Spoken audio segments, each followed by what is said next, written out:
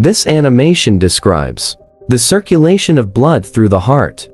The circulatory system is also called the cardiovascular system, or simply the vascular system.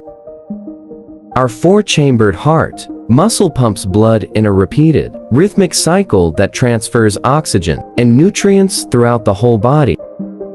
Veins are blood vessels, containing blood flowing into the heart, while arteries have blood flowing away from the heart.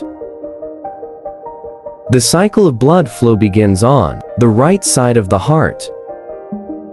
Deoxygenated blood from the head and upper body is collected by the superior vena cava CVC, while the inferior vena cava IVC, collects blood from the lower parts of the body and delivers the deoxygenated blood into the right atrium, one of the four chambers of the heart.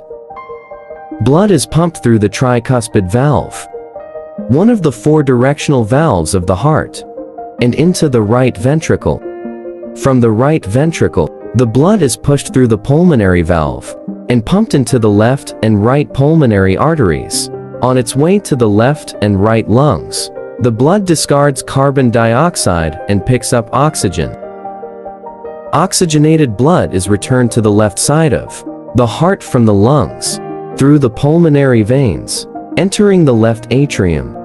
From the left atrium, the blood is pumped to the left ventricle through the bicuspid valve Finally, from the left ventricle, blood is pumped through the aortic valve into the aortic arch, the aorta.